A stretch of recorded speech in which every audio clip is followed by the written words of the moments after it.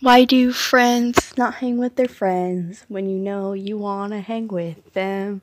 Why do they hang with other people and then post on their Instagram to annoy you? That's why.